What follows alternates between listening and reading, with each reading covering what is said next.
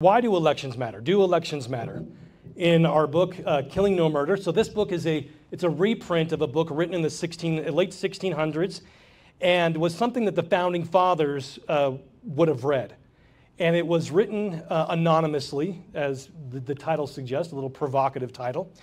Um, it uh, was against King Cromwell, which was a dictator, and um, and explaining what would be the what is the Christian duty in the situation when you are ruled by a tyrant.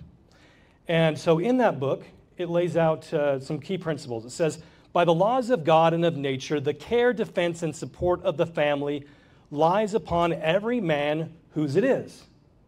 But several families uniting themselves together to make up one body of a commonwealth, and being independent one of another without any natural superiority or obligation, nothing can introduce amongst them a disparity of rule and subjection, but some power that is over them, which power none can pretend to have but God and themselves. So, this power to rule over them, there's only two people that can have that themselves or God.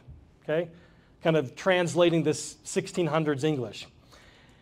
Uh, wherefore, uh, all power which is lawfully exercised over such a society of men, which from the end of its institution we call a commonwealth, must necessarily be derived either from the omnipotent um, appointment of God Almighty, who is supreme Lord of all and every part, or from the consent of the society itself, which is where elections come in. So there's only two legitimate sources where a ruler comes from, and that's from God or from the people choosing that ruler.